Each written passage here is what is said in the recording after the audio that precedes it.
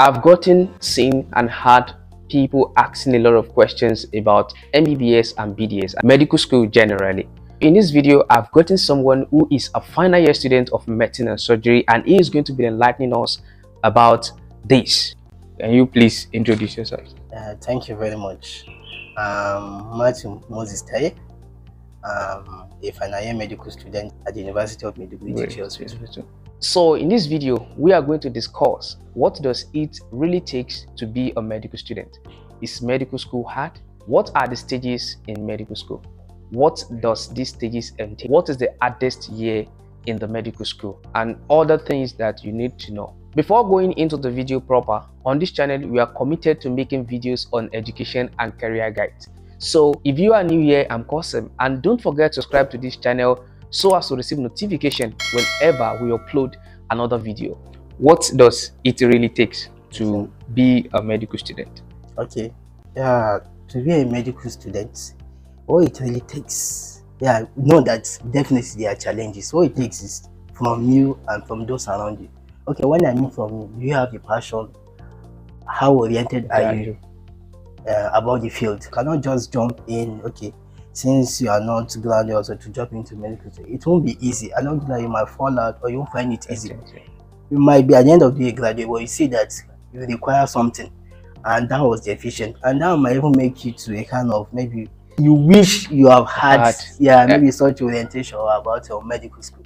Anyone can be in medical school. You just need consistent. You need to be consistent and also you need to be active. You need to participate in whatever that is being done and if I talk about people around you know, the support you need you need support both emotionally, financially, financially yeah, and, and otherwise for you to to be a medical student. Before going into every other questions, I would like to ask you this question, which is very, very important and which I think it's one of the things that everyone watching this video or someone watching this video would like to hear is how hard is medical school? It is subjective. Yeah, generally now, if you want to look at it at any angle, you see that medicine is hard. But when you come into the system, you know how your own level of the way you assimilate things, you realize that okay, I can cope with it. Just at the end of the day, you now see that okay, medicine is hard or medicine is not hard. But as I said earlier, it's subjective, depending on how you play your cards. Okay, if you some if you are somebody that is consistent, definitely you realize that it's not something that is hard. You just need to be consistent. consistent that's why I say it's subjective. If you are someone that they kind of toil around with things, okay, you don't participate, definitely you find it hard. In overall, talking about the hardship in medical school, how hard it is, the subject and everything, I'll tell you that it's subjective. It's based on individual. So what are the stages in the medical school? Okay, no, the stages or the phases, you can divide it broadly into two. You have the preclinical stage and you have the clinical stage. For the preclinical stage, you spend three years. Okay, okay. And okay. for the clinical stage, you spend another three years. Three years, okay. Altogether makes it six years. Six. But in our set here, it is six plus x, and that x is not zero. not zero. it's not zero. so okay, what is the preclinical stage entails? What are the things you expect in the preclinical stage of the medical school? Okay, as we said earlier, that in the preclinical stage, you spend three years. Yes okay in your year one you do your basics and a big step up of maybe the chemistry the biology physics you do your practicals and other general subjects. And that is in year one. In year one. In some schools it is peculiar. In our setting here in at the university of Maiduguri, yeah you start you do mathematics unlike many schools they don't do mathematics in year one. In year one. For the university of Ilorin instead of doing mathematics you can take up zoology in year one? In year one, actually, in year one. In the preclinical stage, no, you deal with cadaver. Cadaver. You don't deal with live human beings. You deal with dead human. Although some schools they use what they call mannequins. They are just like models for humans. They have the organs, the everything that you can see in a human. Then going to okay in your year two, you do your, your anatomy, your biochemistry, and your physiology uh, and in those aspects you still a kind of put in community medicine you start community. medicine from in, year two? in year two. Okay. But as i said earlier some schools are peculiar. For ABU you start community medicine in year one. Mm. so in general all of us we are still moving at this particular yeah yeah we have the same destination. So in your year three, you still do your anatomy, you do your physiology, and your biochemistry. Okay. Just when they give you the basics now, they give you study the normal normal things in human, both in the chemical form, its functions and its structure. Then when you now move to the clinical stage, that's when you now study about the disease that affect the chemical, the structure, and the functions. Functions, yeah. So that you see the application of what has been gathered in the preclinical stage. Yeah, what have been you see the disease part, the pathology aspects in the clinical Clinical stage. stage.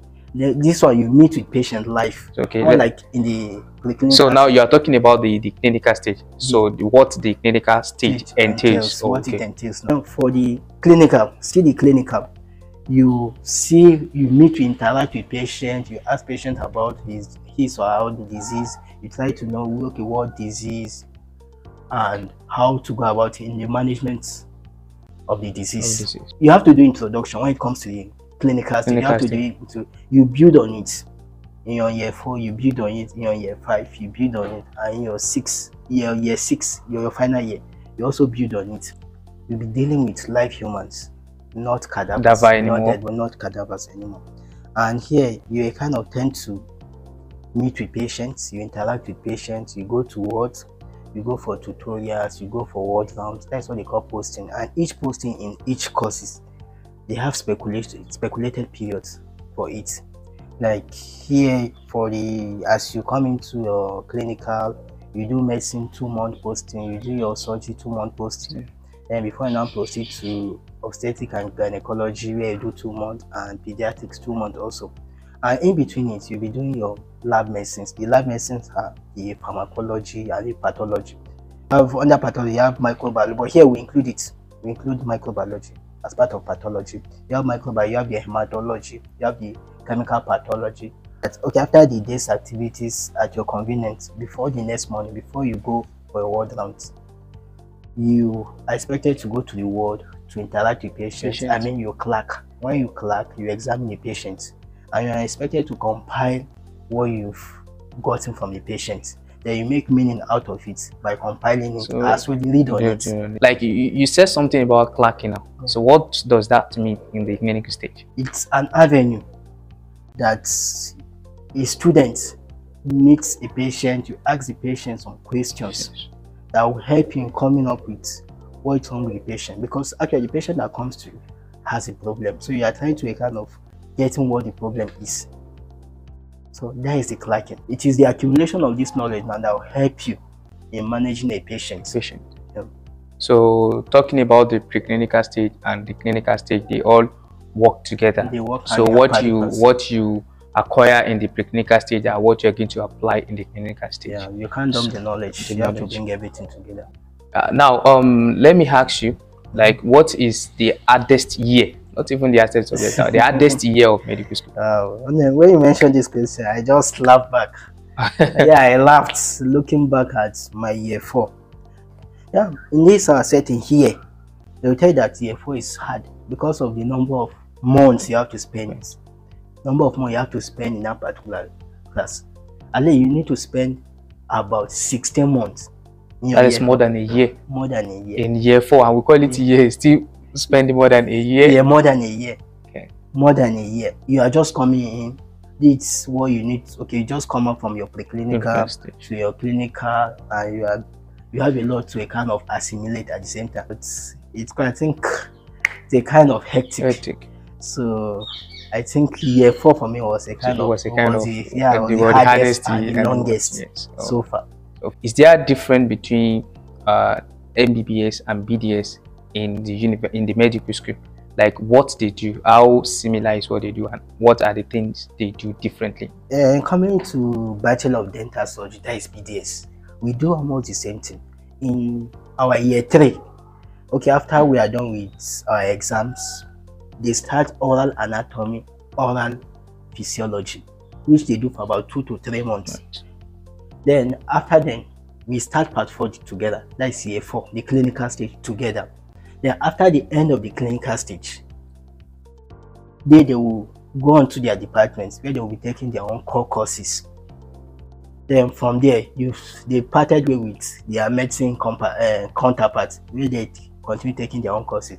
Now, when it comes to posting, in some of those co- uh, courses, Mm. they they kind of stay longer. Like for pediatrics, they add one month to it when it comes to their own posting, and in their own medicine and surgery posting, they they stay longer than their Than med- MBBS. uh, MBB, those in MBBS Yes. because MBBS they, they will still come back and do their intermediate posting Posting. on Okay. it. On it. Yes. So, so what is the grading system in the medical school? Okay, the grading system in medical school, uh, they don't use this uh, CGP. This is This CGP. There is the, they use part, uh, percentage assessments. Now you have your, you need to have fifty percent. You need to have fifty percent before you pass. At least. At least fifty percent. How it is being breakdown is okay.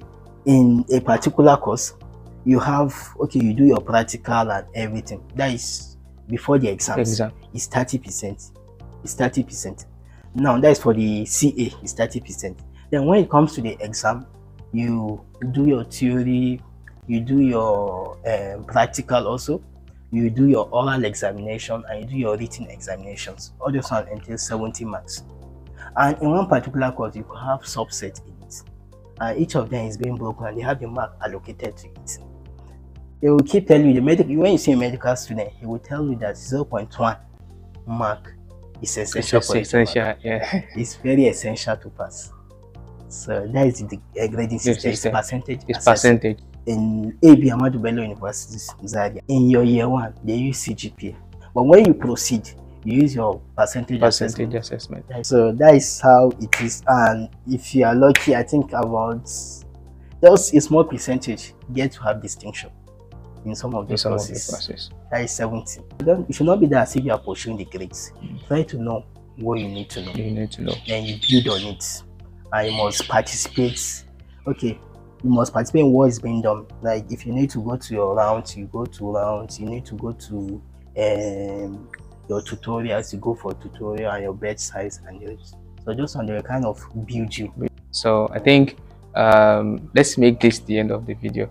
right. Thank you very much. so thank you very much. Okay. thank you. I want to believe that you have benefit one thing or the other.